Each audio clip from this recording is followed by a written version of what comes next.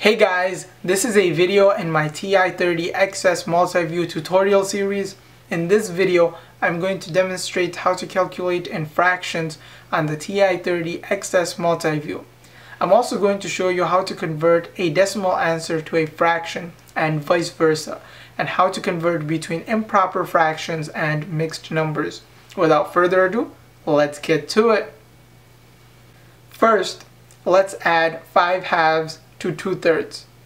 In order to enter a fraction input, press the button labeled N over D and that brings up the fraction form with a space for a numerator and a denominator. So I'm going to type in 5 in the, uh, in the numerator. So type in 5 on the number pad and then press the down arrow and type in 2 in the uh, denominator. And now I have 5 in the numerator and 2 in the denominator. So arrow right and uh, press the plus sign. And now I'm going to press n over d once more. And this time I'm going to type in 2 thirds. So 2 and then down arrow and 3 and then I'm going to press enter and I get the answer in fraction form. If for some reason I wanted this uh, fraction to be converted to a uh, decimal, all I would need to do is press second and the table button and this comes up on the screen and press enter and I get the answer in uh, decimal form.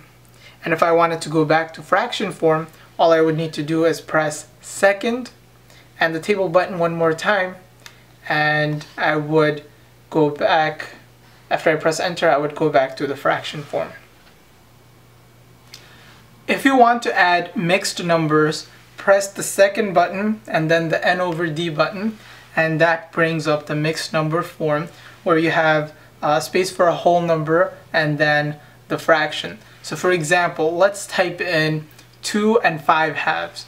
So I'm going to first type in 2 and then I'm going to arrow right to the fraction and type in 5 halves just like I would for, uh, for an ordinary fraction. So 5 and then arrow down and press 2 on the number pad. So I have 2 and 5 halves. Now to that I'm going to add uh, one third let's say. So plus and then press second. Oh no, not second, sorry just press uh, the n over d button and that brings up the ordinary fraction, the proper fraction uh, form. So just type in 1, then arrow down, and 3. So we have uh, 2 and 5 halves plus 1 third, and press enter. And once I press enter, I get 29 over uh, 6 as my uh, answer in fraction form. And likewise, if I wanted to convert this to decimals, I would do the same thing, press second and the table button. And if I wanted to get the fraction back, do press second and the table button and press enter. And if I wanted this uh, uh, improper fraction to be converted to a mixed number, all I would do is press second and the uh, times 10 to the n button to select uh, uh, the conversion be from uh, proper fraction to mixed number and vice versa. So press enter. And from this mixed number, if I wanted to go back to the proper fraction, once again, just press second and the times 10 to the n button, and I'll go back to the improper fraction form.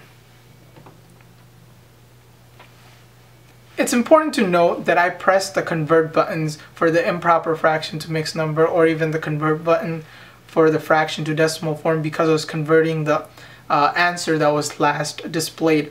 If you want to convert an answer that is not the last displayed answer, type in that entry. Uh, for example, if I wanted to convert 26 over 3 uh, to a mixed number, what I would do is I would type it in first. So 26 and then arrow down 3. If I wanted to convert this, and since it's not the last displayed answer, I had to type it in. And next I'm going to press second and the times 10 to the n button and then press enter. And I get the conversion. So you could do that for um, anything that you want to convert.